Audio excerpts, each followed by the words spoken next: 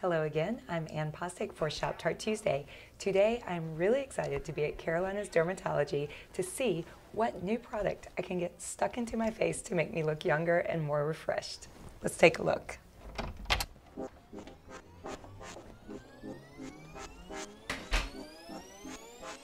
Now, looking at your face, I mean, you've got a great face, but you have you have minimal body fat, and Love her. Love her. so when I'm looking at you, I'm going to play with your face a little bit, a little bit there, and a little bit in here, just to smooth that out. You will sometimes have a crease that remains once you're done with your expression, and that's not good. How bad is this going to hurt? Well, we mix into the Radiesse some lidocaine nice.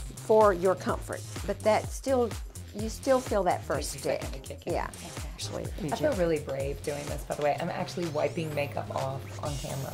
Now this is Xeomin. This is the newest neuromodulator that we have available. This is the one that will make me look happy and sweet, which I am.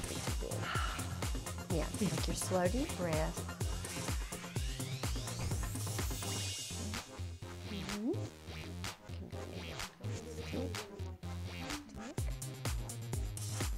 So there you have it. I've gotten my face shot full of fabulous stuff and it should look even better over the next few days.